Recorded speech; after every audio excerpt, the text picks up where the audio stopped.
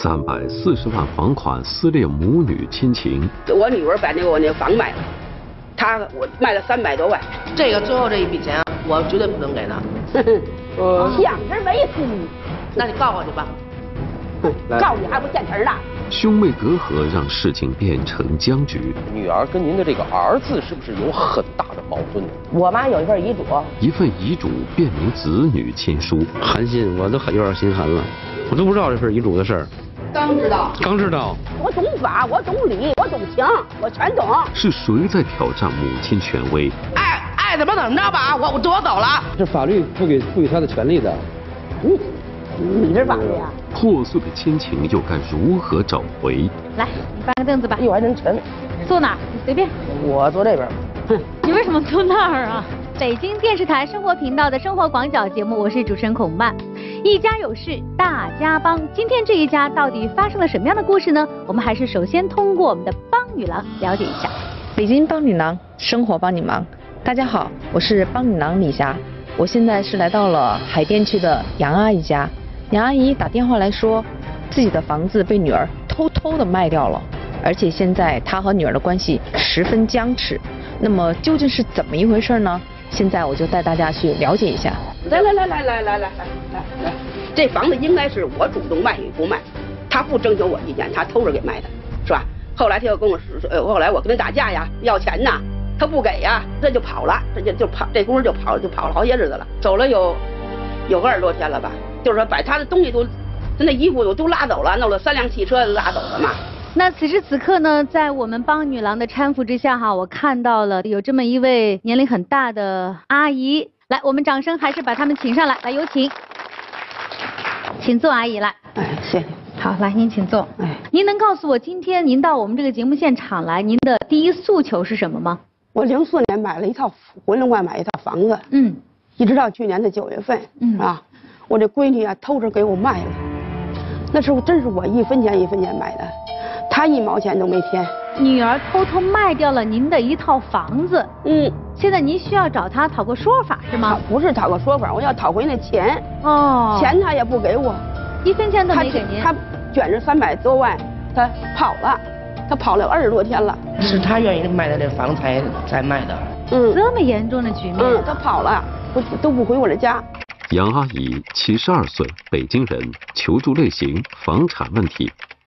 那背后到底发生了什么？哈，我们还是好好来听一下，这背后经历了什么？为什么到今天这一步？这是什么时候卖的房子呢？九月十号，二零一六年的九月九月十号。您一分钱没拿到？一拿到拿到了。卖了多少钱？您知道吗？卖了三百四十万。九月十号那天，他胁迫我拿出房本了，房本一切手续，不是买房那些手续，都在我这儿，是吧？这十多年都在我这儿，他卖房呢，他得找我，结果呢，他不通知我，他把中介引到我们家来，在我那屋里头，那儿那儿就就就就做。是我妈上是那个把那房给挂在中介上的人人家来的。可是我很奇怪呀，这房子是您的，房本在您那儿把着，对，他用什么办法帮您的房本给拿走了呢？这中介不是在这儿吗？他我一进门，他就说，您这房不是要卖吗？啊？我中介来了，上咱家来了，人家要卖，赶紧跟人跟人家说吧，把房本拿出来，登记了人家。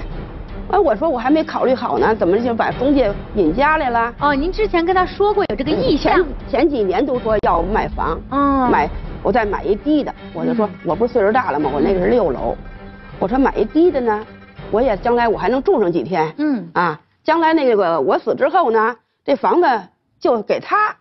他也挺孝顺我的，我就给他，是不是啊？嗯九月十号那天，他又要挟我，他怎么拿不拿呀？你卖不卖？嗯啊，人中介上咱家来了，你不不卖，你你你干嘛呀？还留着干嘛呀？啊，卖的价钱挺高的啊，还不知足啊？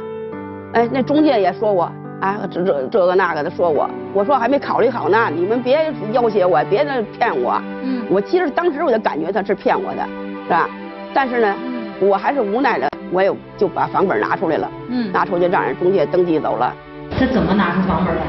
他他给的我，他主动给的。嗯，头一天登记走了，第二天就面谈，第三天就网签。你说怎那么仓促？我就说，后来我越想我越傻了，我就是没主意啊。买卖这个过程当中，所有的手续您都参与了，我被迫参与了，您可以不去啊，后面的不配合完成，对对对，还还是我的错。怎么说呢？我也贪图这个价钱了，是不是可以这样理解？其实从您心目当中也是认同买卖的这样的一个过程的，而且您是认为房子卖掉在这个时候价比较高的时候卖掉也是可以，也是可以的啊，因为这套房子并不是你们居住的房子，是投资的房子，对吧？投资的房子。如果说卖完了这笔钱都是由您自个儿拿着，可能您就没有这么大的意见了，对不对？对。我老觉得窝心，我那房明明白白都是我一分钱一分钱攒买的，为什么现在他我得跟他要要钱，张着手要钱？前期采访时，杨阿姨说，女儿之所以敢拿走三百四十万元卖房款，是因为在二零零四年买房时留下的祸根。当初房屋登记在了女儿名下，她没想到会遭遇今天这样的变数。如今她是哑巴吃黄连，有苦说不出。那您当时？为什么要用她的名字呢？买房那年我是六十岁了，我到银行去贷款，人家不给我贷了，我就和姑娘商量好了，我说这房子已经买了，做贷款做我这儿做不了了，我说要不使你的名字，你上单位开出证明来，是吧？有偿还能力了，你就就这房子就算定了。借名买房借借他的名买了房，我这儿有一纸协议，我们俩人还做了一纸协议啊，就买房那天我就跟他做了一协议，我跟你多亏我有这个。要不然我一点我一点证据都没有。哦，当年二零零四年的时候做了这么一纸协议哈。对。协议内容大概是，因为我在回龙观买了一套房，一居室，日期是二零零四年十月三十号开始。嗯。做贷款九万，已付十万，总房款是十九万，是吧？十九万。因为我是退休工人，单位不给证明做贷款，用女儿单位所出的证明做的贷款，每个月我拿出两千一百块钱，也就是您，一直到二零零八年。为止，这套房的产权和所有权都属于您对所有。我就认为，现在因为这套房的名字是您女儿，所以特此签约，这套房永远属于我。对，注明到我年老时，谁对我孝顺，我就把这套房给谁。啊，每个人都签名了，一式两份我我我没跟他写过这个呀。当时您签这份协议的时候，是你们两个人在场，还有其他人就是我们俩人在场。这个协议内容是您起草的还是谁写的？这是我写，都是我写的。您当时跟你女儿立这个字据、立这个协议，其实就是为了防止会出现今天这个局面，是吗？不是，我哪有这意识啊？那您当时为什么要做这个这面啊？嗯，您当时为什么会给女儿来立这个字据呢？我说我买了房子，我因为我还有一个儿子。嗯。啊，我要买了这套房子呢，写了我姑娘的名了，将来我儿子要知道了，他会饶了我吗？哦。结果我就我就想心想，我说跟闺女我得写个。签个约，写个条你是怕一碗水端不平，端不平，所以您是出于这个角度的。对对对对对。这我我估计可能后那那后来他们写的。这十多年来一直是你女儿的名字，这个房子。对对。当时出资十九万，这个十万块钱的首付款是谁出资的呢？是我。都是您的钱都是我的钱。有女儿的份额吗？没有。她一分钱都没拿出来。她一分钱都没有。哦。但是这九万块钱贷款是通过女儿的名字贷款的。那么我想问一下，女儿这九万块钱是你每个月在还月供，还是说她拿钱出来还的呢？每月都是我拿钱，我亲自到银行，北京银行四道口分行去交。所有的钱都是由您个人出资。对，只是借了您女儿的一个名字。就借她一个名字，什么她都没有付出。明白。都是我的付出，钱、辛苦，啊，心血都是我的付出。明白。但是房子卖完之后，钱。却全部打到了他的账户上头，全都打账户账户上头，一分钱都不给我。我现在脑瓜都懵了，听听听听他说我都懵了。他说了，我为什么不给你钱？我给了你钱，你就给你儿子去，他就怕我给我儿子去。杨阿姨说，毕竟她膝下一儿一女，女儿有这样的顾虑，她也理解。可是他和女儿在卖房前曾经口头约定过，卖掉六层这套一居室，再买一套低层的房屋，而且同样登记在女儿名下。为何这样的和平约定却没有得到履行呢？您当时想着说这个房子卖掉了三百多万，嗯，拿来买这个矮层的，对，这中间还会有差额是吗？有差额，嗯，我给他看了，我看了哇，七八套房，嗯，就是有九月十三号。我就去上红人馆看房，我一天不落，我天天上红人馆去给他看房。我说我再给你买一套，还写你的名儿，哎，到我没我死之后呢，这房是你的名儿就是你的了，你哥哥也跟你争不着。我说妈给你写一个呀，条儿夹在这个房本里头，嗯，就好像我留个遗嘱似的，嗯，哎，我说与你的前夫没关系，嗯，这个房子，嗯啊，与你的哥哥没关系，嗯。啊，看好一套房，给他打电话，嗯，我没工夫，你瞎看什么呀？就这样，哦，说我就，但是我还不醒悟，说他不愿意买房，我这要不做妈的这个心呢，可能太强了，做妈没有想到，其实你们俩的意愿没有达成一致，就不是，就没想到哟，呃，那我那女儿就不想买房了。啊，她想把这钱豁忽悠我了，我就想不到，啊，我这个二十天，我天天给她开房开房去，到时候电话里跟我唱歌，啊，唱歌完跟我成心气我，我就 我还不明白，我还继续给他看房。您说我傻到什么程度，让女儿给我断的？我这钱我弄给造了，我都不可能让你给你儿子去买那房去。九月十号买的房，九月二十九号我这腿就走不了了，累的，累的。跟您说到今儿个了也是，腿就折了。我明白了。阿姨，所以我心不横啊，不平啊。你们家现在是每个人都有房子住是吧？啊，都有房子住。哦，女儿自己也有房子住，你们也有房子住。女儿没有房子住，我这女儿啊是九四年结的婚，嗯，零一年就离离的婚，嗯，离了婚就回娘家来了，嗯，她没离婚，这几年她也是跟我这儿住，她这婆婆家没有，嗯，啊，九八年她生了一个女儿，嗯，哎。生完那女儿十三天就弄到我这儿来了，我养着这这孩子，我还养着他，他挣钱也不给我呀，是吧？我也没跟他争领过，是吧？他那孩子我现在给养到十八岁了，这不是他跟也跟着他妈一起跑了这次，啊，他让他妈跑，妈，俺走，俺不跟他这儿住啊，省得他们净跟你们打架，走走走。这次是发生什么事了？就是在这个就是卖房之后，就是这个十二月的十二月的几号，嗯，我忘了。我们娘俩在打架来了，我这女儿啊，她让我叫我叫我儿子，嗯。你把你儿子叫出来，我也不怕。我说呀，你还甭这么激瞪我，我你卖房卖了仨月了，我那儿子都不知道你把房卖了。我说要知道，我这儿子要知道，早就宰了你了。打架嘛，是不是？说话可能狠点儿是吧？啊，他说啊，你叫吧，哎，我说叫就叫，一电话就把我儿子叫过来了。啊，儿子过来刚坐在这儿，没有两秒钟，他就抻出两把菜刀来。嘣一下子就往这个我这茶几上一搁，你们俩人把我宰了吧？哎，给你们刀，就这样。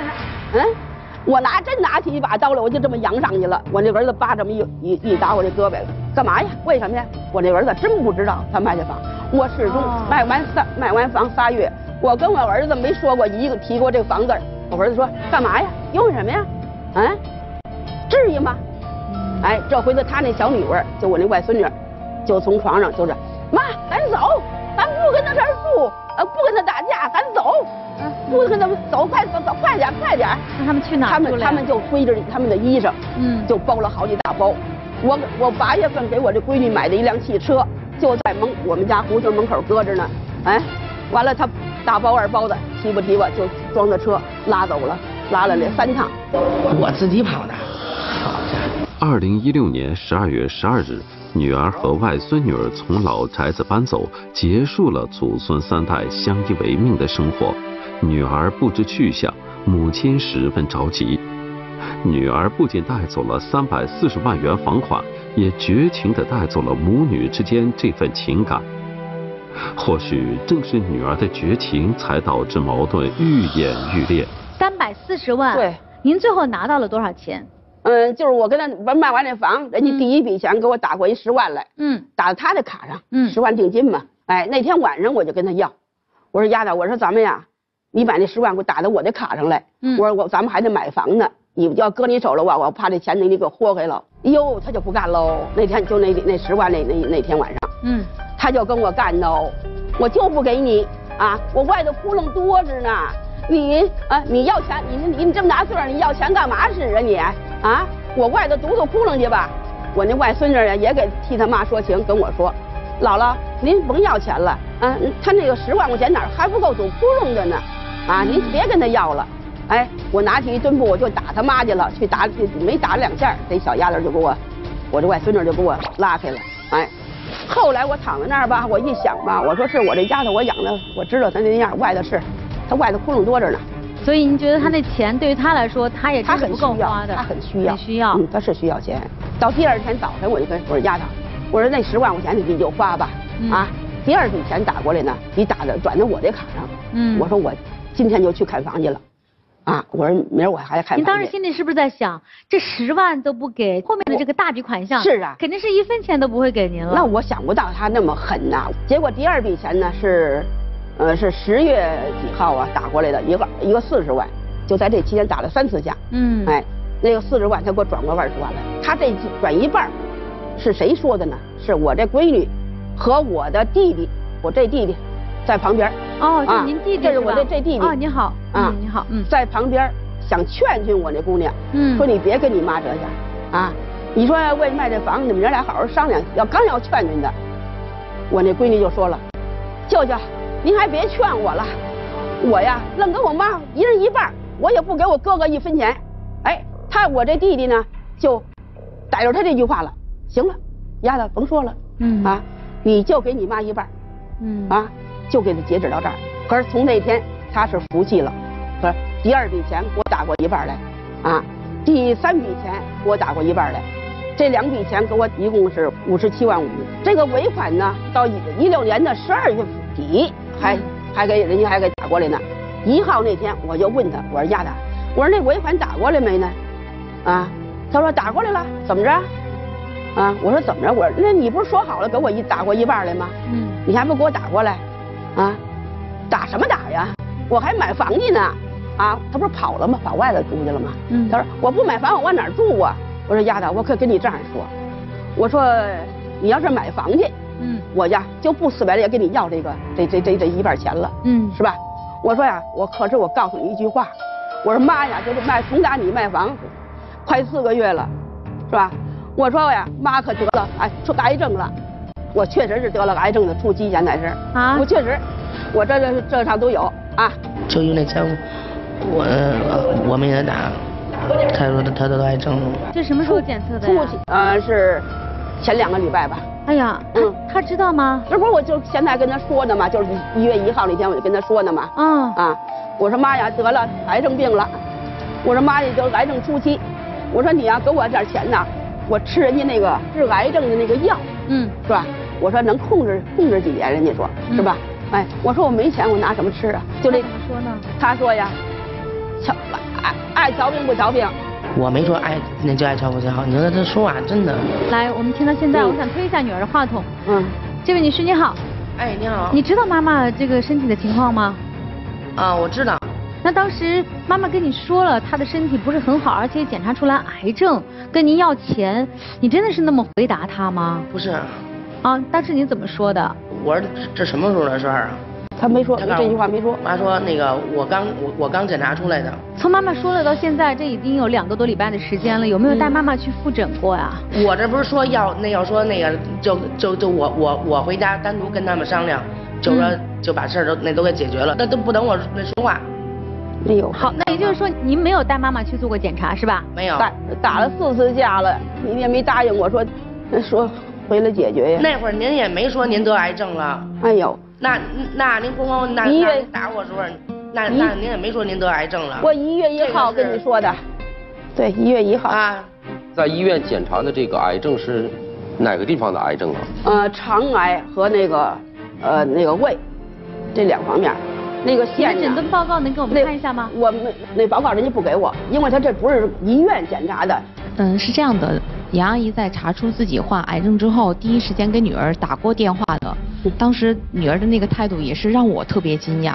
呃，咱们有一段电话录音，现场可以听一下。对对对，好，可以真实的反映出来，到底女儿当时是什么样一个态度。这个这个钱打过来没呢？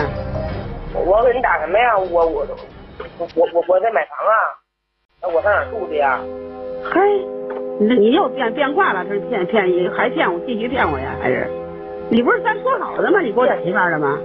那您还跟我说不那个不跟我哥说，那我哥现在也掺和进来了。那您说我我怎么？你哥根本就没掺和，你哥根本就不知道。就你就你们俩人走的，你们娘俩走那天他就不知道呢。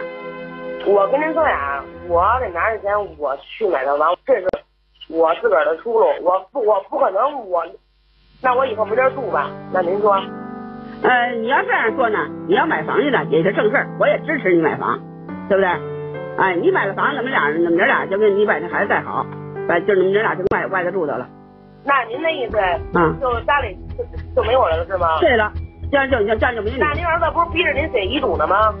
啊，我儿子逼我写遗嘱是他的事儿，我写不写是呀，我写不写是我的事儿，我不是一根棍儿让他摇稳着。我告诉你，现在我得了癌症了，赶紧给给给我，给我我瞧瞧你。这事儿你不信，我不我这有报告有报告，你过来看看来。嗯，我呢我也活不了几年了啊，嗯，你呢小二吧，嗯，你呀有有怜悯心，你呀就给我打过点钱来，我瞧病你。啊，我行呀，您让您儿子过去吧，那您那您让您儿子过去吧啊。这段录音是您录下来的吗？啊，是谁录下来的？我录的。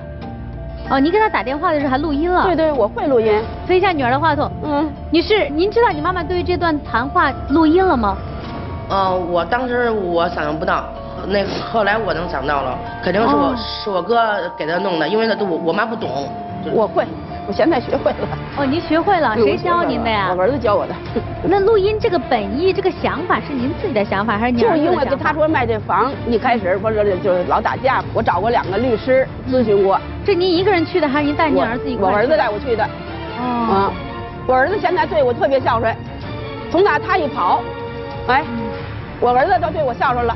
嗯。原来儿子差点事儿。比他差点事儿，您偷偷的把他录下音了，您的目的是什么呀？我就是为了人家律师，我咨询律师嘛，律师说您得跟他谈话，您得有个录音，说我们呃还能给您分析分析，是您的对，是他不对的，是不是？嗯，哎，后来我就又跟他打架嘛，我们俩人又说说就就打电话了就打架嘛，所以说我我长心眼了，我说我说那个儿子你给我弄录音，嗯，我要我要取证，我要取他的证。我估计是他要取个证，要上法上法院告我，知道吧？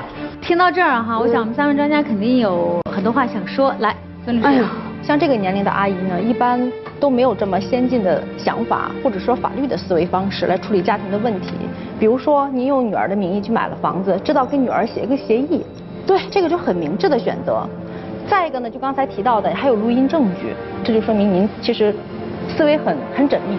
对，然后眼光也比较开阔，但是无奈的是，您做了这么多工作，可是今天还是面临这么尴尬的一个局面。对，他一分钱不给我，我可不一天就尴尬吗？我一天就窝心吗，还是面临这么尴尬的一个局面，那我们就得值得探讨，那我们应该怎么做才能避免这些家庭矛盾呢？但是我问您一个问题啊，哎，呃，刚才我记得您说到是您的弟弟是吗？嗯，跟您的女儿在谈这件事情的时候，女儿说出了这样一番话。对，她说我宁愿呀，我给我妈一半，嗯，我也不能让我哥得到。啊，就给我哥一毛钱都不。哎，那就说明是女儿跟您的这个儿子是不是有很大的矛盾呢？这没有什么矛盾，他们我就认为他想挥霍去。我养这闺女啊，是一个败家子儿，我这闺女干这事儿啊，我可没少给她趟。败家子儿，不孝顺的女儿，母亲给出这样的评价，是因为母女之间存在房款纠纷，还是女儿本身真的存在很大的问题呢？来到现场的女儿会如何还原故事的原貌呢？也很久没回去了是吧？一直在外边。就是我妈那个那天拿菜刀砍我，我就走了。嗯，对。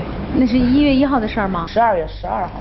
那您离开家已经快一个月了。嗯，快了。这一个月也没见着老妈，就那天回去去录像，那个就回去了。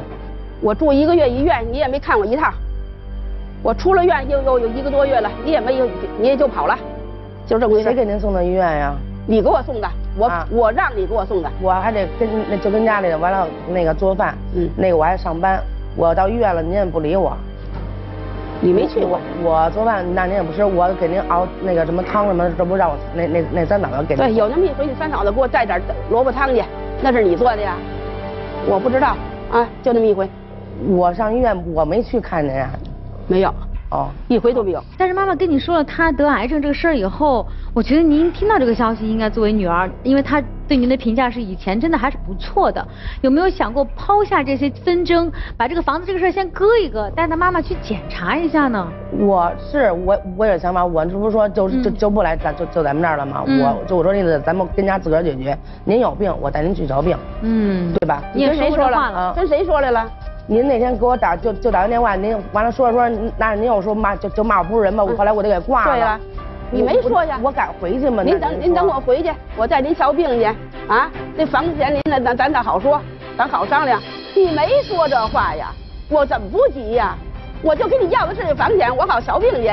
你呀，甭跟我什么了，哼，让律师啊专家们那么给我分析分析吧。好，我这女儿是什么东西？不能这么说，分析分析吧。在这儿说哈，那我就想问一下 女儿，就是坑爹害娃伤天害理的事儿，你都干干过了啊？你可都干过了啊？这个钱，呃，当时您是怎么考虑的呢？为什么没有打到你妈妈的账户上？我刚才我也听到了，嗯，就我妈妈说那个房是我偷着摸着给卖的，嗯，这个我，是我妈跟跟跟我商量，说那房那个就咱家那边要拆迁，嗯，那那那万一要要拆的话，那那那个跟那住着也得太高了。那个就换一低点的，就我好像能那上去。我说行，嗯，我说您也这么大岁数了，就同意了呢。是我是我妈把这个这个房子就挂在那个就回龙观那边那链家。我挂上来的，您中介谁认得我家呀？那天他就把那个中介叫家来了。链家那个就就就就来的那天早上起来呀，是我妈没在家去遛弯去了。嗯，等遛完弯回来，人那个人人家给我打电话，因为我是这房子的名嘛，说来。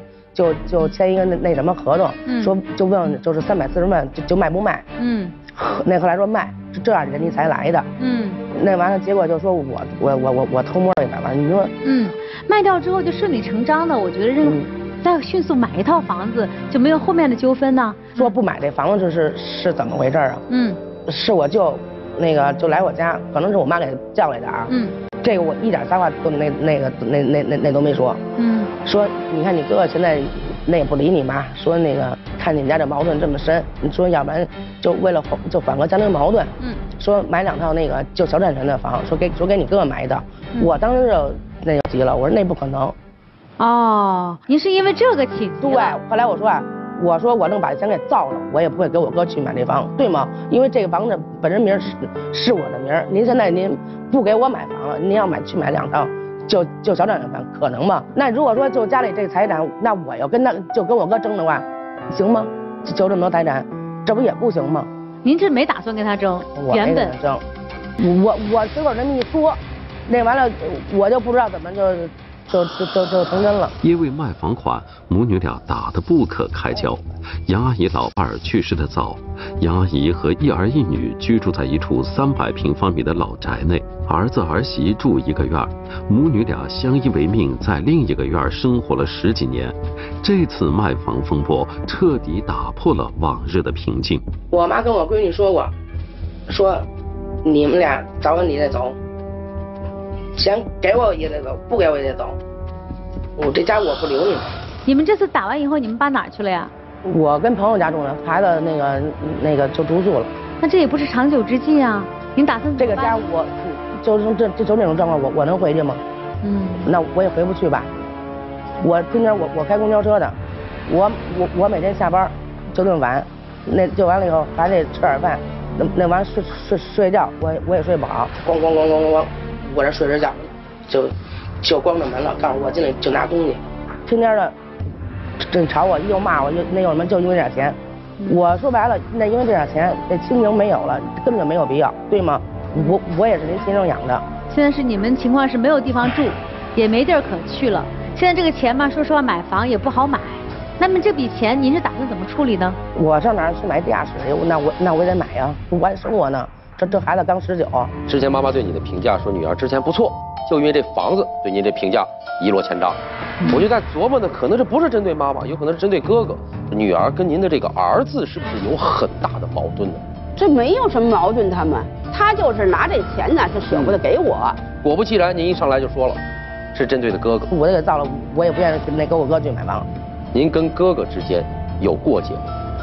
我我那天我我给他媳妇打了。他可他他快快恨死我了，因为他媳妇就就骂我妈嘛。哪一天的事儿啊？有两三年了吧。就我哥哥上房揭瓦，就就打我妈骂我妈，这胡说八道，人就没打。然后你就站出来帮妈妈出气。这我妈让我闺女给我打电话，我从外边回来，我是那个就问她是什么情况，后来就急了，后来我我我我给揍了。推一下妈妈的话筒。哎哎。阿姨。哎。的确是有过这么一个一段往事，对吧？一段是有这么一段，他替我出气了，那人您出气了。大口的天天骂我，还有一点，我这儿子就是这房子就卖了以后，当着我东东舅呢，我们一块吃的饭，我就我妈就是说一句，你为这家你没做过贡献，我说我怎么做过那做贡献？那我说我我为您差点，我我我拘留十五天，我给我嫂子那个打了，他告诉我我愿意让他骂，我我当时就寒就就寒心了，不是不是您那您说我怎么了？就因为这点钱你就这么恨我？啊恨你，嗯，恨死你了。到今儿你不给我钱也还是不行。我觉得妈妈那么说了以后，上来以后，平常就就骂我，可骂的可厉害了。照说一般的人他会觉得我要还击，我要攻击，但他上来以后，我到现在还没有听到他说过一句妈妈不好的话。对，始终在讲述事实，对吧？讲述就是说这个过程到底怎么样，这个钱我是怎么考虑的。其实妈妈有没有问题？我相信三位专家坐在这儿已经知道妈妈身上的问题其实也很严重，但是她一句话都没说。我觉得这一点呢，倒是足以看出来哈。其实女儿跟妈妈的感情还是挺深的，是的，挺深的。我我我特心疼我妈，平常，嗯嗯就是因为这房子，这就这钱事反正就说那种种原因吧。前期采访时，女儿说，她离婚后带着孩子一直和母亲生活，母亲身体不好，全靠她来照顾。选个糖尿病，心脏也不好，经常会犯病。嗯，我就在家啊，就我们在那城城镇医院，多晚都是那夜里就两点，就就都得睡。我没说，我妈一有病，我我就得请假。人人家儿子从来没请过假。完了下班，上那照一眼，待会儿，要是走了，我回家给给媳妇做饭去。我一个月一个月的请，那您说我我家里有一那小孩子，这我妈又病了，那我我我不请假怎么办？这次为了解决家庭矛盾，编导与女儿约了多次，最终才在休息日见上一面。他担心耽误工作，见面了解才知道，原来他为了母亲可以不惜一切。母女感情深厚，是什么原因导致母亲情感的天平开始向儿子倾斜的呢？你觉得妈妈是因为什么原因把这个房子卖了以后，突然要想换成买两个小产权的？我没想过，你都没想过呀？我没说买两套，他舅舅说。那这期间妈妈接触过什么？舅舅跟我说的。舅舅知道这中间的原因吗？就是您的姐姐为什么突然改变主意？这事儿我还真不。您就光传个话筒啊，就没问问姐姐为什么现在是这样？他的意思打算买这个买两套。嗯嗯。他的意思就是也是那意思，想着给他儿子一套。那会儿我我哥可能还还不知道。母亲自己的想法。对他可能想着啊，那个。为了缓和就家庭嘛，你知道吗？为了缓和跟儿子的关系，或者没准以后自己上年纪了呢，或者除了靠女儿也还得靠儿子，会会考虑到这些因素吧？也许会提出这么一个想法，是意思吗？可是他没跟我提，就我妈没跟我提，没跟你商量。他让我舅那跟我说，就就那么突然，这个房那卖就卖完了，那那个什么说不买了，你们又跟我说就说这话了。对于母亲突如其来的决定，女儿有些措手不及。七十二岁的老母亲早已习惯独自拍板做主，本希望通过卖房款来化解家庭矛盾，殊不知一波未平，一波又起。这么多年来，是不是呃，妈妈说什么顺着她就挺好的，但是一旦没有顺着的话，可能就会很大的问题。我觉得我跟我妈一块生活这么多年，嗯，就是我挺感激我妈的。那我离婚，对，因为我离婚，他收留我嘛，又帮我那就养着孩子，又给我养了十八年。真是像妈妈说的那样，就是说养大这个孩子都是妈妈在付出，在花费，包括当时请保姆。我我妈就说孩子上学呀什么，呃，就就是乱八就瞧病什么，都那都是我跟他爸一人一半。我妈跟我确实是那抚养那十八年的孩子，就帮我看着呗。我直截了当，我问你一个问题啊。你认为这个房子是谁的？我认为这房就是我的，是我的名儿。就前期那款，我已经给我妈打将近六十万了。嗯，那我妈妈现在假设非常的坚持，说这房子你这钱你就得给我，你要不给我，我就跟你拼了，我就跟你玩命。我不能玩命。就在这种情况下，这钱也不能给妈妈。不给，我还要生活呢。那我再问你一个问题，我还得养活孩子，我还得租房。妈妈刚才常已经表达这观点。如果说这个钱你不给我，再不给了，但是我那身后还有那么多财产呢，对吧？还能值好几千万呢，真的跟你一点关系没有了，你也不拿这个钱出来吗？我户口跟那儿呢。哦，嗯，你的户口在那个里头。对。假设现在这种情况下，那么卖房子的这三百多万全归你，但是家里的所有的财产，妈妈决定全给到哥哥，您能接受吗？我妈有一份遗嘱，我妈有一份遗嘱。我都不知道这份遗嘱的事儿。刚知道，刚知道，那也是当就当时我舅那会儿写的，花了一千块钱就公证的。啊，遗嘱已经写完了。对，遗嘱的内容什么时候写的？有两年前，我我多少跟跟跟着去的。你哥知道这份遗嘱吗？不知道。来推一下妈妈的话筒。阿姨你好。啊。你的确是在两年前做过一份遗嘱，对吗？啊，做了一份遗嘱。这个遗嘱您的儿子知道吗？不知道。到今天还不知道是吗？今天也不知道。哦，您方便在这儿把这个遗嘱的内容告诉我们的律师？呃，一二年的时候，我那儿媳妇骂我，我跟儿子说那儿儿子跟我跟我翻脸，他向着媳妇儿是吧？那个净跟我打架，又又什么又接我房瓦吧，我真的恨他哥哥，哎，我就我就认为这闺女呢跟我挺好的，挺认挺贴近的，哎，我就说把终身名贴给他了，就靠他了，是不是？我就写了一份遗嘱，写一份遗嘱，把我这我这就说这一平房这一一半，我这个份额，将来我就给给姑娘，是我一直保存着，一直不让他哥哥知道，是吧？所以就就因为这遗嘱，就促使我这女儿胆子也大了，她就这么样坑我害我。好，今天儿子是不是也来到节目现场？要没有这遗嘱，他没有这么大胆子。今天在这儿把这遗嘱说了，您不怕您儿子有意见？那我也那我不说也不行了，这么些年我这个儿子也不知道。寒心，我都有点心寒了。好，推一下儿子的话筒，先生你好。哎，您好，主持人。你知道家里有这么一份遗嘱吗？我不知道。完全不知道。我完全不知道。今儿来节目里大收获了。哎呦，收获太多了。那刚才妈妈已经说了遗嘱的内容了，您对这个内容是不是感到也挺意外的？呃，我现在也又意外又又心寒。哦。啊，心寒。嗯。在前几年的确是跟妈妈的关系也不是特别好。对，我承认，我跟我妈妈、我母亲的关系有一阵儿不愉快。呃，我承认。哦，好，谢谢。嗯，好。看来这份遗嘱，呃，您刚才自己说的哈，其实说实话啊，我要是您，我不会说的，因为已经做公证了。但是不是，您为什么会说呢？所以我想问你啊，你为什么会说呢？这不就关于这楼房的事儿吗？嗯。我这我妈在在这个这个遗那个遗嘱上边，那写的这个这个楼房就是我杨玉梅的，就加把锁。嗯。就根本就说跟他跟我哥没有关系。好。也就这是遗嘱里面也对你们最近卖的这套房子已经做了归属了。对。妈妈刚才说，首付款以及之后的贷款都是妈妈付的，是这样吗？就借他一个名字，什么他都没有付出。我可是那里边那个，就我我也给他钱了。什么钱？啊，就是那我每月那个那那个交给他钱，就就就两千多块钱嘛。交给他什么钱？就是他买房的钱呀。为什么交这个？啊，这这名是，这名是我的名。这个不符合常理。嗯。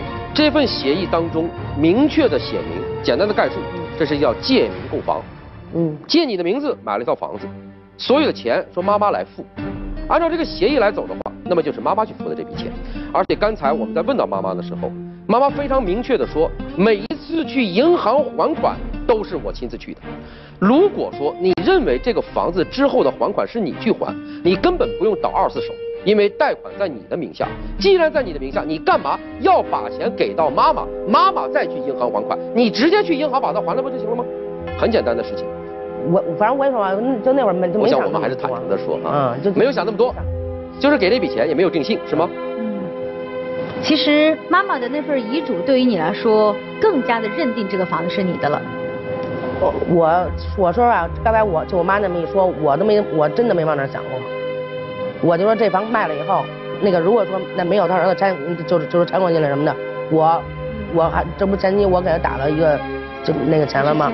啊，哥哥跟你的妈妈现在关系倒是好起来了，从什么时候开始好起来的呢？就是这个后期这款没给我妈就就就打过去，完了我这我哥跟我妈就开始就是俩人成天的，就是我我哥往我妈那屋跑嘛，因为我上晚班嘛，我我不知道。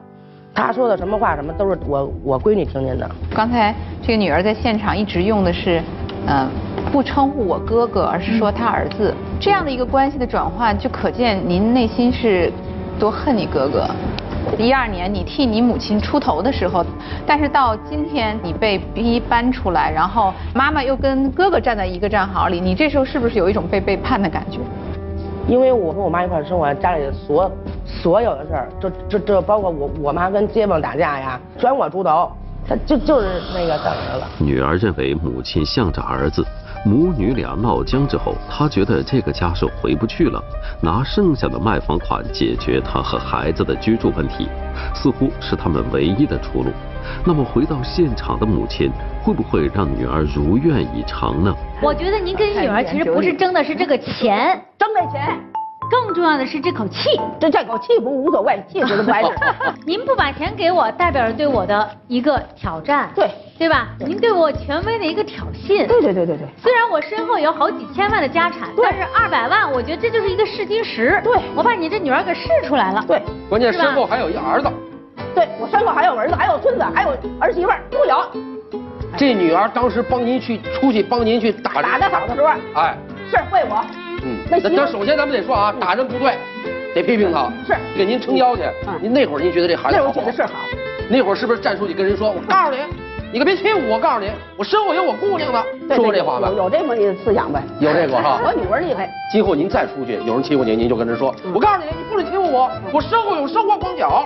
对，您得跟他这么说。对对对对对对对，多 谢谢。这个阿姨是挺可爱的，有点笨，挺可爱的。她的确是一个非常有能力的，而且不怕吃苦，真的是勤俭持家，把这个家家业弄得这么大，就在北京都首屈一指啊，好几千万的家产。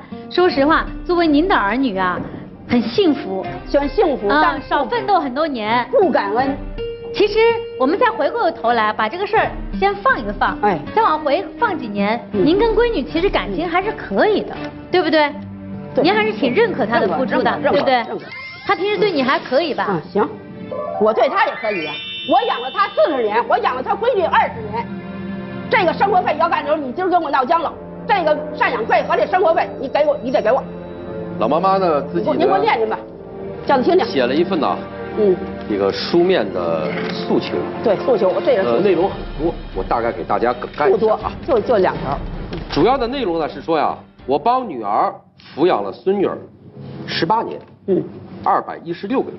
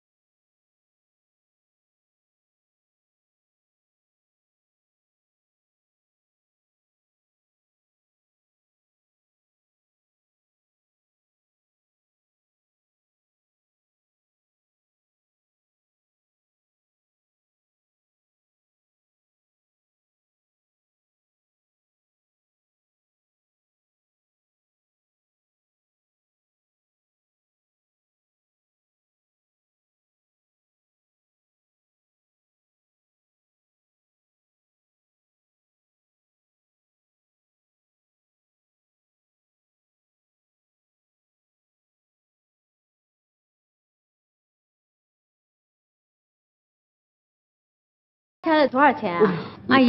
我真的觉得您是学经济出身的，应该做会计经济头脑，这算的挺清楚啊，阿姨吧，不仅说在外边持家算的很清楚，对内如果说侵犯了我的这样的权威，我也会给你们算清楚的。那么我就想问一下阿姨，在你心目当中这两个孩子，你到底疼谁一些，亲谁一些？我呀，开始啊。还就偏向他了，嗯，娶了儿媳妇，咱这说这儿媳妇对我总来差点事儿，是吧？嗯，哎，那管么我就靠闺女了，是不是？可是后来呢，又发生变化了，是不是？就是因为这个房嘛，我我对他有太极大的反感，然后呢，又开始倾向儿子了。哎，这个儿子呀，并没我也没倾向他，嗯，就在十月一号我去住院，我这腿坏了不是吗？十月一号我住院，哎，他呢给我搁在医院那儿呢，他就一趟都没去。我都住院五六天了，我这个儿子呀，听我那儿街坊说，说你妈妈又住院了，不知道怎么了。哎，这儿子晚上下了班上我医院那儿看我去了。打那以后，我跟他说了，我说丫头啊，给我搁这儿来，一趟都不来看我了，就因为这卖房子，他跟我嫉妒了不吗？哎，嗯，我这儿子说您您甭甭着急，甭生气啊，我我天天我我看看您啊，哎，打那天就是十月几号，嗯，打那天天天陪伴我。天天看看我，把我接出院，把我接，嗯，那什么，给我做点饭吃，做点肉肉吃的。那儿媳妇去看过您吗？没有。哦，就是儿子这一段跟您走的挺近的。哎，儿子对我这肯定好了。那我就想，那你丫头你跑了，你你你得为了房钱，你跟我闹得这么僵，一分钱不给我，我能不生气吗？那这儿子又亲近我来了，那我我这做妈说别你别往前来啊，啊，我谁都不用你们，我不会那么混说话。其实老太太要求很高嘛，她要求一点都不高。老太太住院的时候，就是因为她儿子来看，每天看看她，嗯，然后接接送送。哦，再做点好吃的，对，哎，马上就是一条战线了。其实老太要求真的不高，嗯，真的女儿，对对对，很简单，实际上很简单，做你们本分的事情就可以。我刚才听他讲说，您儿子现在也逼着您写遗嘱来着，嗨，就说这个房子说卖了，我都没敢跟儿子说实话，三个月他都不知道，一直到他扔菜刀那天，我这儿子才知道。我不跟你说实话，说了实话，我这儿子我怕他们俩人打架，您说是不是？嗯。他俩打起来，我这家庭还过不过了？您说，嗯，我前隐后瞒着，我怕这混蛋儿子回头再跟他打起来。你用了一个词儿，是不是啊？混蛋儿子，对，这词这词儿用的也也不太适应。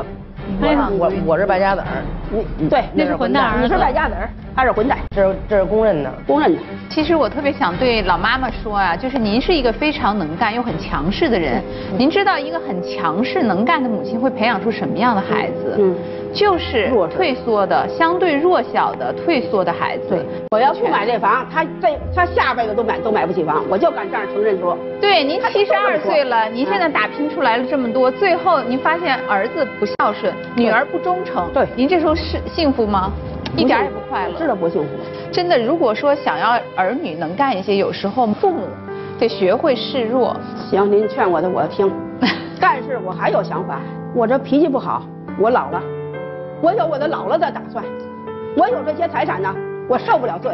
大院有吧？你现在幸福吗？这不照样在哭吗？对不对？谁难谁知道？养儿养女的人呐，咱都养儿女呢啊，到老了到时候你们都知道。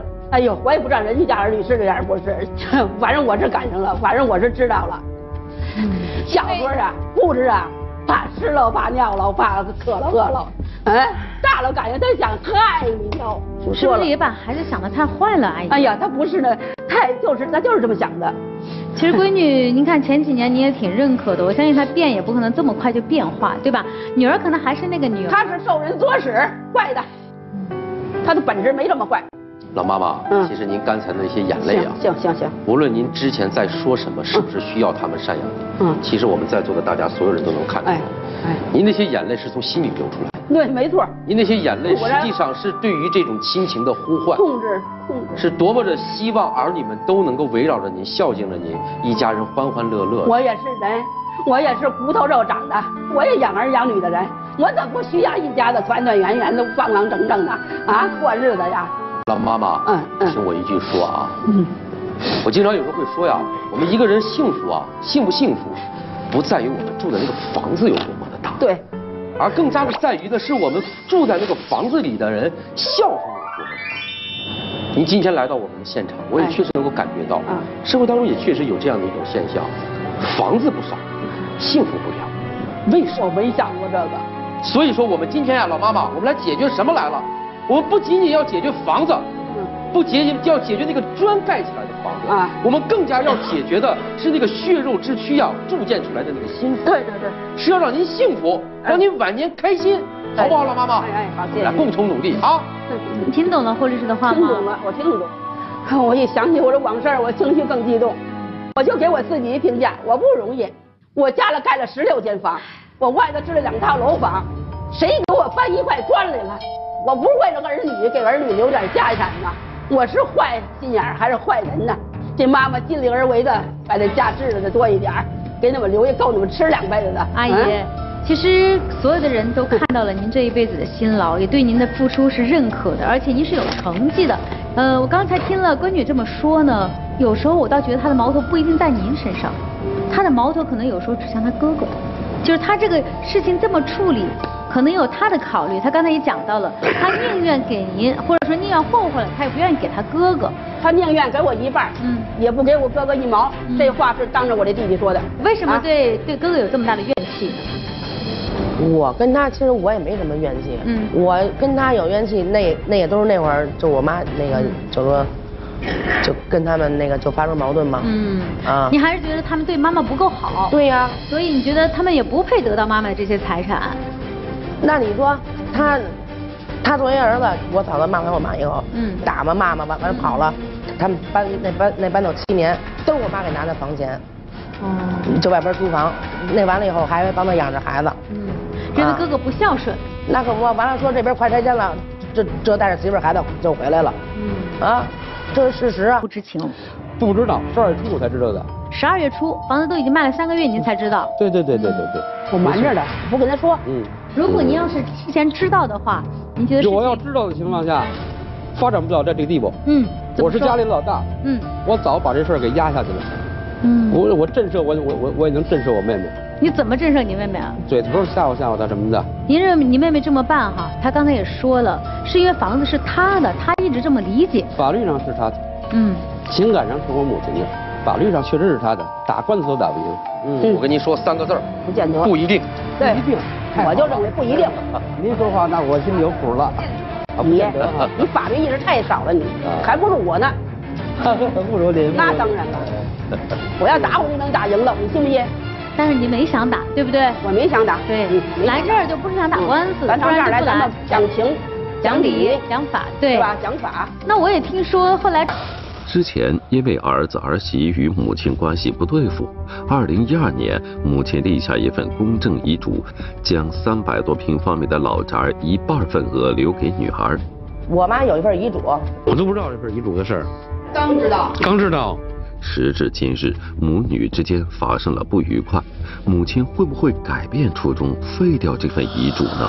前些日子就让我烧了那那遗嘱，烧了已经，烧了。公证处那儿也有备份，公证处那儿有，我已经撤了。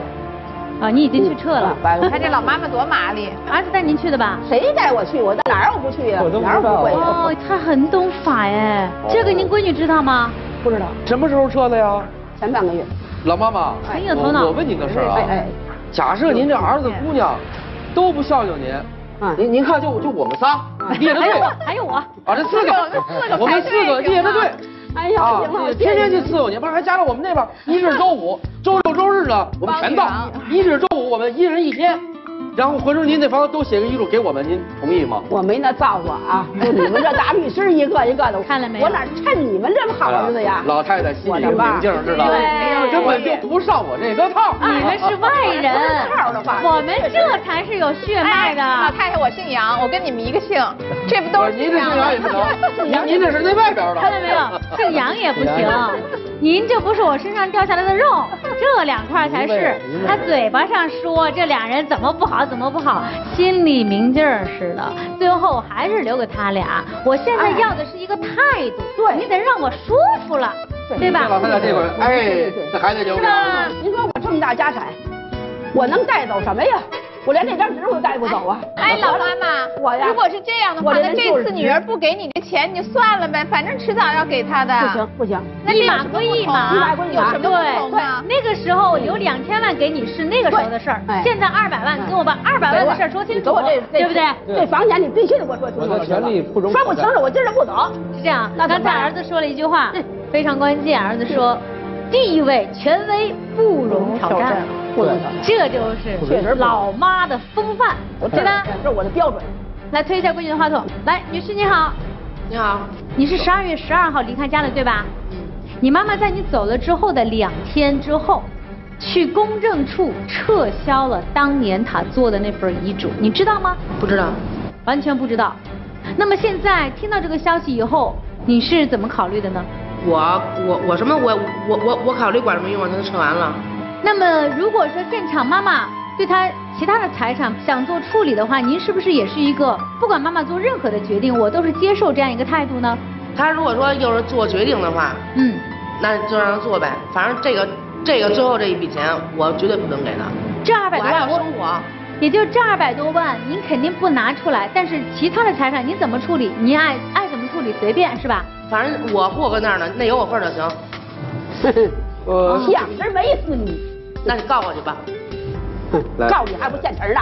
老妈妈，我我跟这女儿说两句话。一个确定的，就是老妈妈说了，我撤销了遗嘱。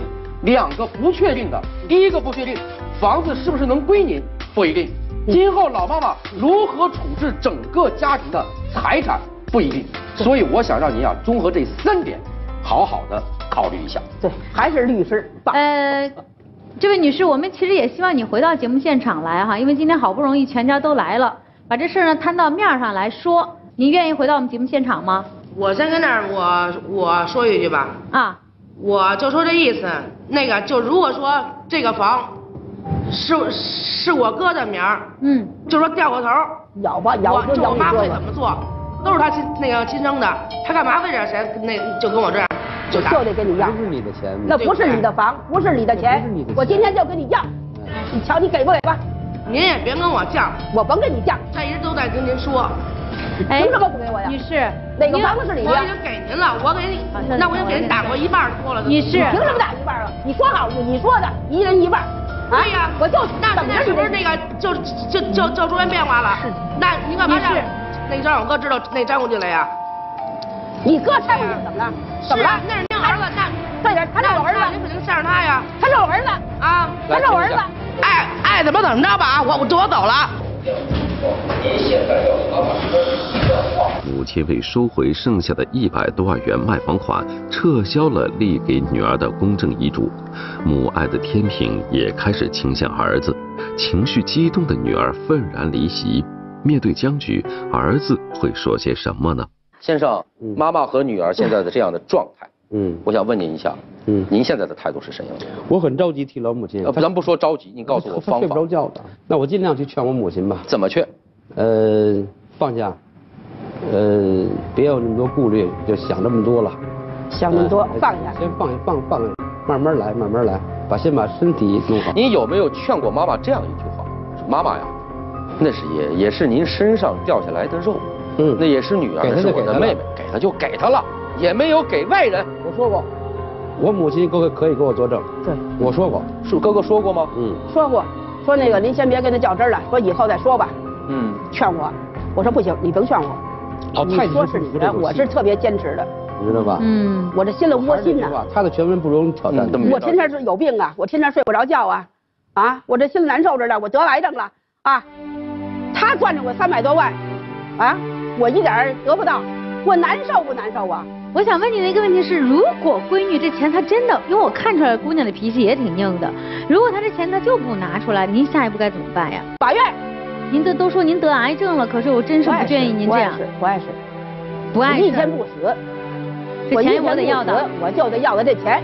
但是正是因为您闺女并不了解妈妈的心理，她不了解，她也不了解妈妈的性格，那就让她也不去揣摩，所以导致这么僵的一个局面。对对对。所以我还是想请这位女士您回到现场来。我我说说没事，待会儿那我那我先你你你别别着急。在帮女郎的劝说下，女儿答应回到节目现场，事情会不会有所转机呢？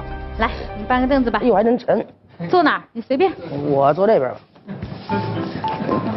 你为什么坐那儿啊？我我面对人律，你坐专家席啊？就就律师专家。怕你老妈总是老他打我呀，等会儿。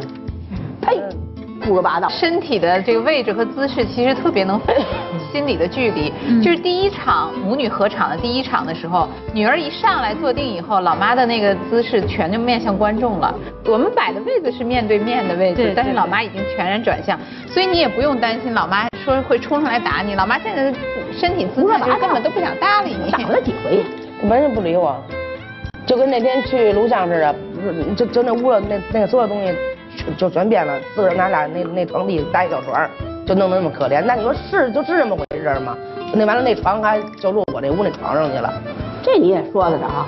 那可不是吗？不愿意。我们去拍摄的时候，您妈妈把她的东西收起来，弄得对呀，就弄得特别可怜，就就就好像我虐待她似的。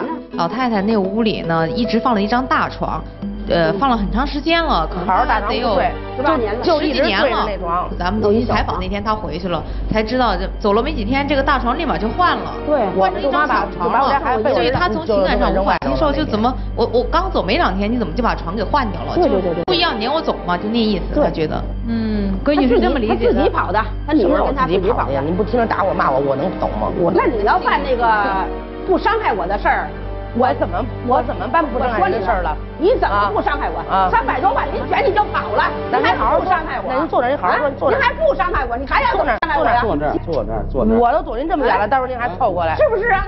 有一句话呢，我觉得您哥哥比你学的聪明一些。我刚才说了，您我不会表达。他说了一句话呢，非常能够代表您妈妈的性格。妈妈的权威在这个家里是不容挑战的。妈妈尽管找你要的是钱，但我认为更重要的是要的是妈妈的权威。你有没有想过试图去了解一下你的妈妈？妈妈到底是个什么性格的人？我我妈一辈子是挺强势的，嗯，所有的房钱就是那个全是我妈收。其实老太太手里头，她并不是说没有钱，嗯，你知道吗？就是她看病，她其实有钱的。对，不是你那那养老钱都够，就对不对？这你这钱就没关系了。我前提是甭管我有钱没钱，我把钱已经给您就打你该给我的给我，那也够您那什么的了。你什么叫够啊？那您有病的时候。你有病，甭就说什么血压高、心脏病，那个什么，不是，那您快死了，是谁救的您啊？行行行了，你，你救我，你就是你是你应该的。对。母女针锋相对，几个月前，这对相依为命的母女关系十分融洽，母亲对女儿也非常认可。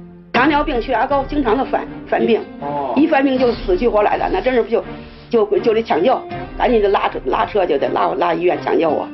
经常的，这我这闺女全知道。幸好有这娘俩在我旁边，救了我多少次命了。真的。要没有这娘俩，我也是，我早就死了。其实这丫头我挺好的，她不是那么坏。就这次卖房，她把我弄寒了心了。但你有没有想过，如果你真不把这钱拿出来，你妈妈那儿可能还真是脱不了干系。而且下一步他手上的这些财产的处理，他可能还会带有另外的一些倾向性。那么你有没有想过，就像你妈妈原话，我捡了一个芝麻，是不是丢了一个西瓜呀？就说钱我给了我妈，我这个家产我也得不到什么东西。我我早想过，可以说过。谁跟你说过呀？因为我上晚班，这我哥跟那跟我妈有时候就聊天，嗯，我我闺女就在那屋里也就就就也听得到。你知道吗？就跟我说了。明白了，也就是你能够从这家里，你觉得能拿到的，可能就是最后的，就是这一些。反正现在已经在我手上了，那我拿到了，我就据为所有了。然后其他的，你给不给，你自己看着办。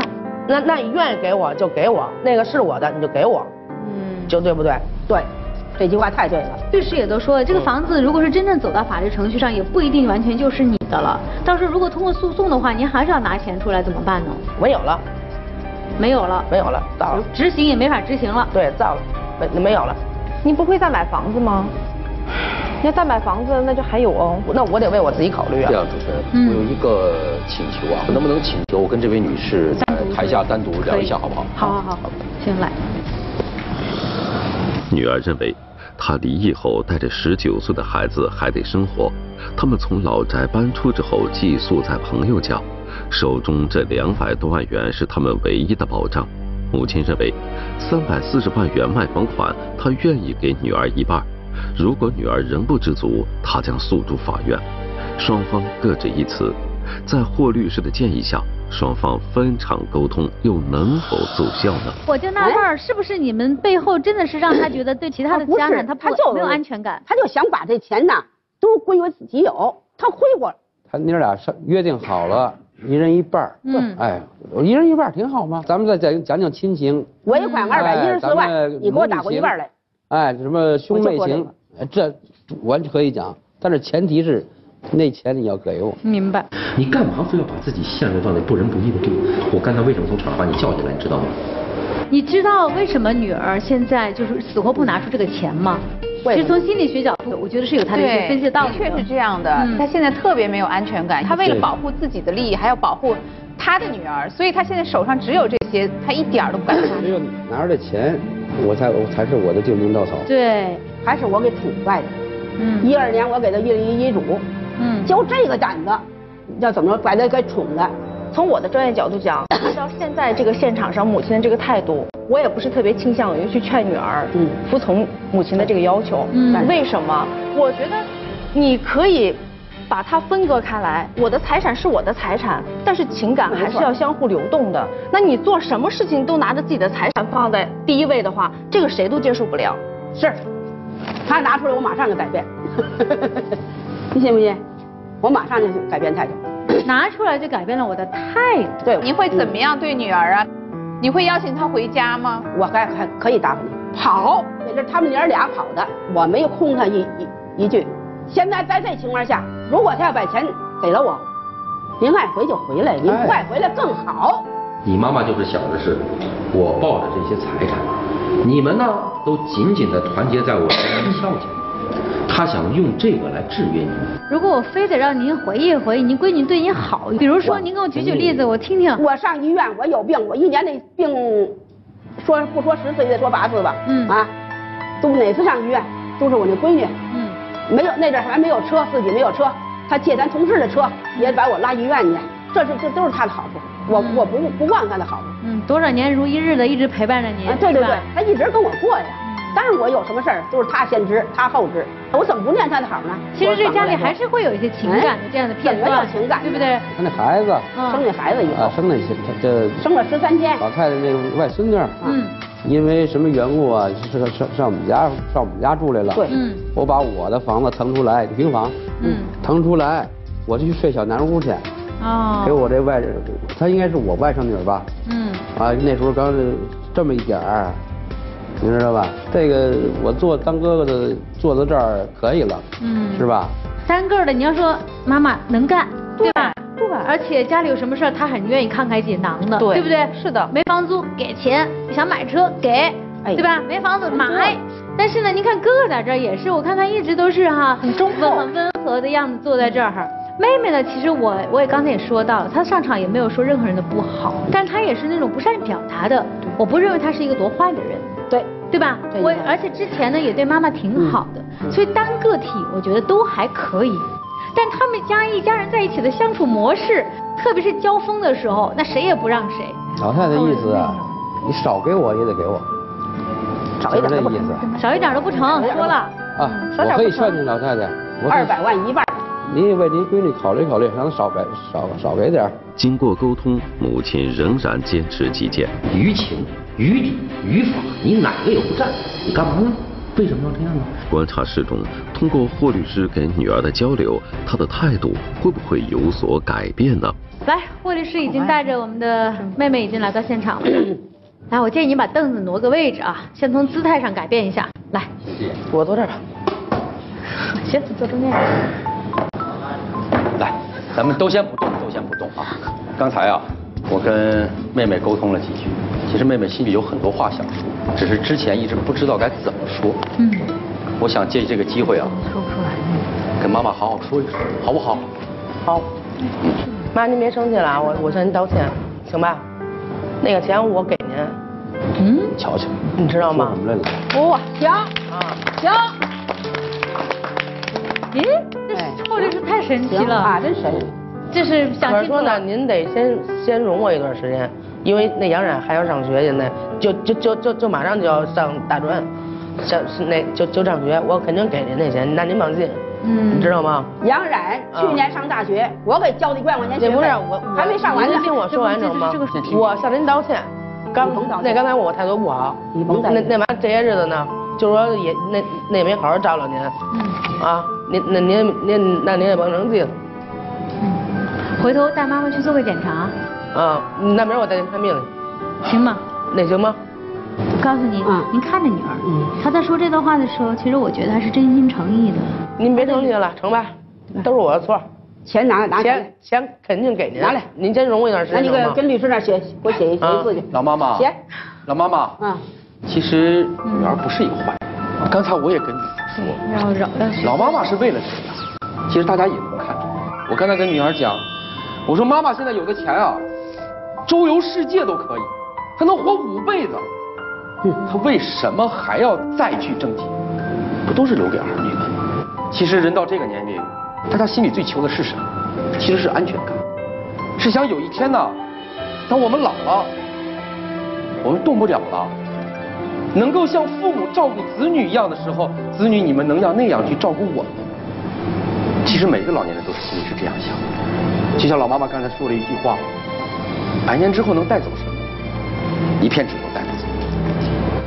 他最想带走的是那份情，是心里想着我永远有儿女在惦念着我。这可能是每一个老人都是这么想的。有的时候啊，我经常会说，有些儿女他们不是不孝，他们为什么会跟父母去顶嘴？我不是帮助他们去辩解，他们有的时候总想着自己还小，那是我的爸爸，那是我的妈妈，还想着像小的时候啊，跟爸爸妈妈耍耍无赖。但是我希望全天下的儿女们都能够理解，我们大了，他们老了，可能我们不能够再这样去耍无赖了，我们不能够再这样去撒娇了，反过来，我们应该让妈妈撒娇。真的，我说一句话，两个半句，父母伴我们成长，我们要陪父母变老。那以后我跟杨冉还那还得跟您一块过日子呢，还还就还像以前似的，还得照顾您呢，就都是这样。那您想，那杨冉十八年，他他对您也有情啊。其实我我都知道您那您什么心里头，您其实就就是这么杨冉，我都明白，知道吗？我以后那肯定跟杨冉就是跟以跟以前似的那么照顾您。舅舅上来好吧？好啊。嗯好，完了，跟律师那给我写出一条来，写出字据来。他今天写一个条，他的这个效率和您的这个协议法律后果是一样的。您现在的证据，他也应该把钱给您，不能说全部啊，我都不信了，因为他骗我太多了。哎，他呢也跟你说了，哎，可以相信妈，也是自己的女儿。你这样吧，丫头，丫头，给我打过一半来吧，一百万的一半。啊，五十万，我先瞧瞧病，啊，那五十万咱们当着全国群众呢，也没没没不了我的，好吧？哦，我能不能这么理解？就总共您还需要闺女打一百万给您，一百万，但是现在只需要五十万，另外五十万以后再说。啊，以后我让他慢慢的还再给我。哦，可以吗，女儿？嗯，哎，点头了，他五十万靠谱。说实话，我真的觉得这一刻我们应该给女儿鼓鼓掌。我退步。我觉得七十二岁了，就是很多老年人到这个时候已经活得很淡薄了，已经看通很多一切了。为什么这位老太太七十二岁了还紧紧地抓住？我觉得在她内心深处还是有很大很大的匮乏。这种匮乏可能是青年的时候没有得到丈夫的疼爱，对，然后。壮年的时候一直在为儿女打拼，就是他这一辈子他获得的爱太少了，他看到的就是实实在在的物质，只有我这些房，我看得见的这些数字，才是我真真实实能够依靠的东西。基于这一点考虑，我也是恳求，就是呃儿子女儿，包括所有的家人，更多的赋予老太太爱，这种只能靠爱的流动才去能悟回这个老太太的心，就是她现在比比女儿可能更没有安全感，而且她活了七十二年，她没有感受到。外界对他的支持和爱，对，所以他现在不停的要索要这些东西作为凭证。了，我觉得杨景老师这段话真的是说的特别特别好，说出您内心的声音了。我们来这真的不是为了解决这一百多万块钱的钱的问题，而是真的想想，走出这个演播室了，我们的妈妈，我们如何让她剩下的这些岁月过得好，过得快乐？您让这俩孩子跟我跟前给我表示一下，他们以后怎么办？好。对你这个提议好，对，那我先说了，站这儿说来，那您是我亲妈，站这儿说来。您是我亲妈，那以后我我我我我得好好养活您啊啊！您别您别跟我计较了，抱抱妈妈吧。就我也是您亲生的，我我又不是您石那个石子蹦的 啊，行吗？您就别跟我那个就计较了，那以后我好好照顾您啊。从明天开始，全家一起吃个团圆饭，我们坐在一起好好的。把这未来的日子怎么过好，好好说清楚，好不好？经过专家团队长达四个多小时的帮助，这场母女间借名买房的风波最终得以平息。这场录制呢，到现在已经全部结束了。其实看到这样三个椅子已经是空空荡荡的，当时已经离开了节目现场。但是看到这个三个摆位啊，非常有意思。其实他们三个人一直是各自为营。我们在很多文学作品当中了解到母亲，以及我们生活当中对母亲这样的一个角色的体会，其实应该是温暖的，是很很有爱的。所以我在想，一个家庭当中母亲的角色有多么的重要，让我们感受到爱是多么的重要。所以电视机前的观众朋友们，希望您通过我们这期节目，能够更加的去爱自己的家人，在这个家庭当中，每一个人都能体会到深深的母爱。好了，观众朋友，我们下期节目再见。白键是快乐，黑键是悲伤。当黑白键同时弹奏时，我们的人生会遇到各种烦恼。用心聆听，改变生活。生活广角，三百六十五天全天候守护你。